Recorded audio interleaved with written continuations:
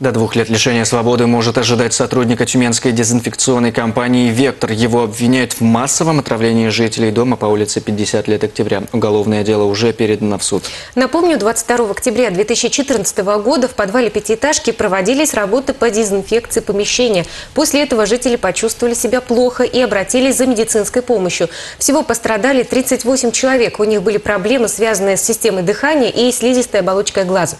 А В ходе расследования выяснилось, при обработке в большом количестве было использовано вещество против домашних насекомых и паразитов уфанон супер.